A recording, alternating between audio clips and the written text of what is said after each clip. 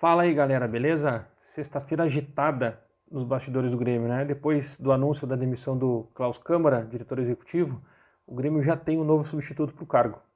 E nós vamos falar sobre ele daqui a pouquinho. Enquanto roda a vinheta, se inscreva no canal, ative as notificações, beleza? Roda a vinheta.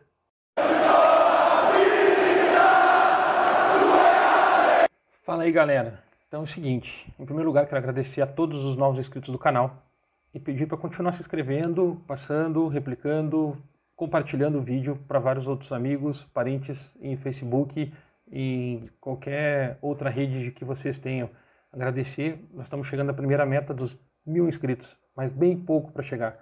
Obrigado a todos por estarem comprando essa ideia junto comigo e essa empreitada, essa minha nova fase da minha vida. Valeu, obrigado e estou aqui para trazer informações e conteúdos para vocês, principalmente relacionado ao Grêmio. Então, vamos lá para não perder muito tempo. Novo executivo do Grêmio, indicado para assumir no lugar do Klaus Câmara, se chama Marcelo Rudolph. Ele é um dirigente que já faz parte do quadro de futebol gremista. Ele estava sendo promovido, está sendo promovido para a função de executivo. Ele atualmente ele é supervisor de futebol e responsável é, pela logística já do clube por algum tempo. É, ele tem um bom cartaz dentro do conselho administrativo do Grêmio. Isso é muito importante, isso pesou pra, na, na sua escolha né, para assumir essa, esse cargo aí. E o Grêmio, é, consequentemente, acaba lançando mais um executivo no mercado. Né? Então, é, posso falar para vocês aí o nome do, do Rui Costa, que foi lançado também, e acho que agora vem aí o Marcelo Rudolph com um cartaz muito bom aí com, é, dentro do conselho, dentro do Grêmio, junto com jogadores eu acho que tá muito, vai ficar muito bem servido o Grêmio nessa, nessa questão aí.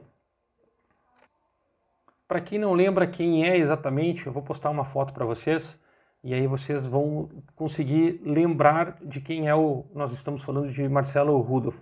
Veja a foto aí agora a seguir.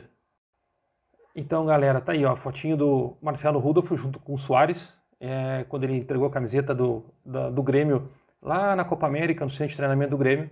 Marcelo apresentou é, a camiseta para fazer aquela confraternização com os jogadores do Uruguai, né? E acabou viralizando nas redes sociais.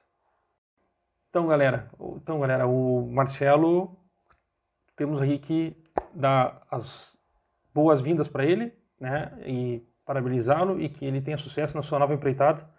E quero passar para vocês para continuar aí. Não se esqueça, se inscreva no canal, deixe seu like, ative as notificações, faça um comentário aí Vamos trazer mais conteúdo, mais informações a respeito. E essa sexta-feira ainda não acabou, tem mais coisa acontecendo e informações para vocês. Beleza? Até mais.